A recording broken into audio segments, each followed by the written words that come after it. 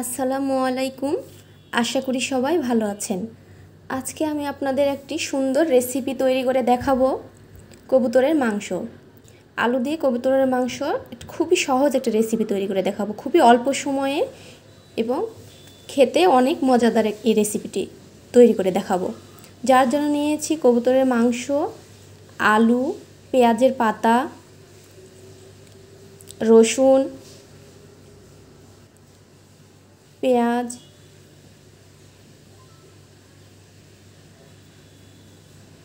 কাঁচামরিচ হলুদ গুঁড়া লবণ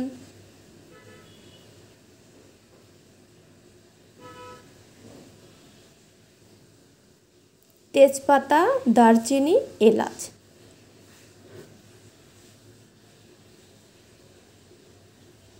রাঁধুনি মিক্স মশলা দিয়েছি।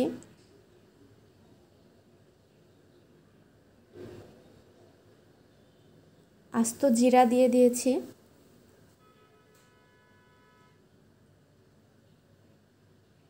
তারপর এখানে এখানে কাঁচামরিচ বাটা অ্যাড করব।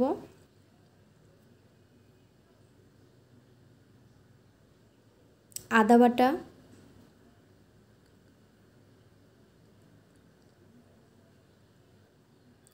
জিরা বাটা।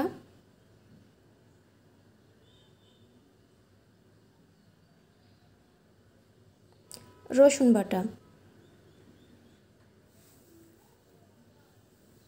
সবগুলো পরিমাণ মতো নিয়েছি। যতখানি মাংস সেই অনুযায়ী আমি নিয়েছি। এখন পরিমাণ মতো তেল দিয়ে ভালোভাবে মাখিয়ে নিব।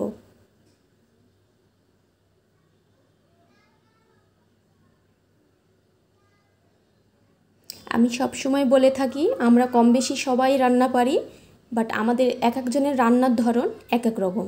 কেউ যদি এভাবে না খেয়ে থাকেন, অবশ্যই বাসায় ট্রাই করবেন এবং আমাকে কমেন্ট করে জানাবেন। ভালোভাবে মাখিয়ে নিয়েছি।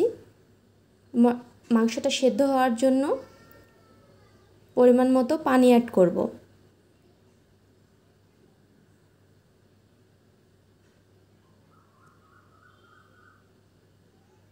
এর মাঝে বলে রাখি, যারা আমার চ্যানেলটি সাবস্ক্রাইব করেননি, প্লিজ আমার চ্যানেলটি সাবস্ক্রাইব করবেন। একটি লাইক দিবেন।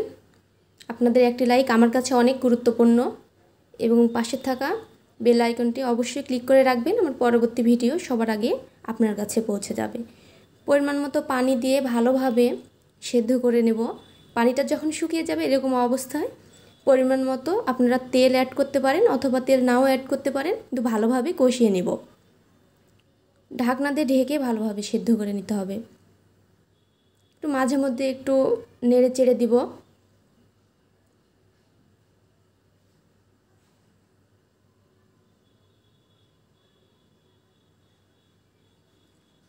আমি সব তরকারি কাঁচামরিচ বাটা দিয়েই খাই।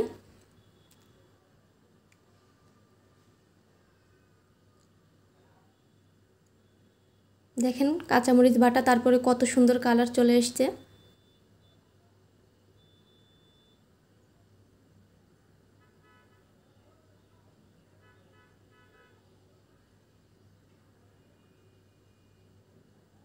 ভালোভাবে কষিয়ে নিচ্ছে।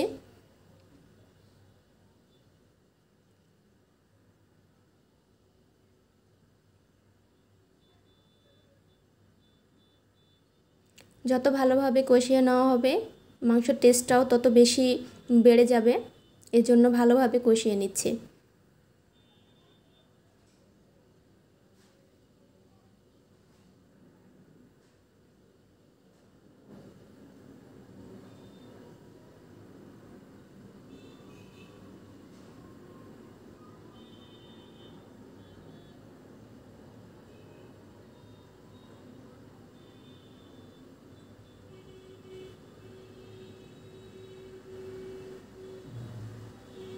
একটু সময় নিয়েই কষিয়ে নিচ্ছে।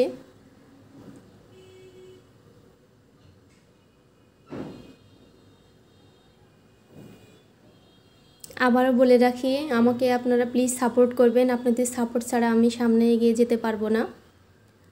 তো কষিয়ে নেওয়া হয়ে গেছে এখন। আবারও আমি যে পরিমাণ ঝোল খাব সে পরিমাণ অনুযায়ী পানি অ্যাড করেছি। আপনারা আপনাদের পছন্দ মতো ঝোল কম বেশি করে পানি অ্যাড করে নিতে পারেন। আর ঢাকনা দিয়ে ঢেকে রান্না শেষ করে নেব।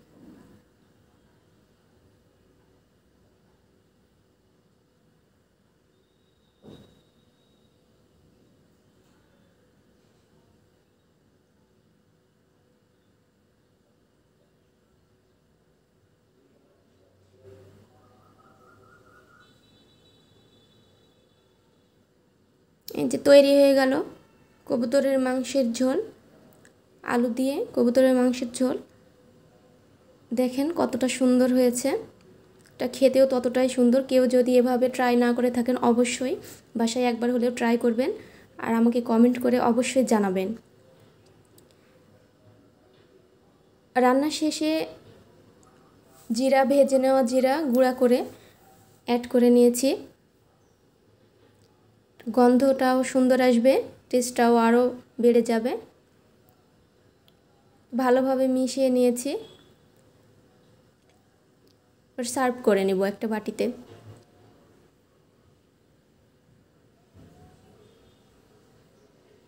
আমার এই রেসিপিটি কেমন লাগল অবশ্যই জানাবেন। সবাই ভালো থাকবেন, সুস্থ থাকবেন। আল্লাহ হাফেজ।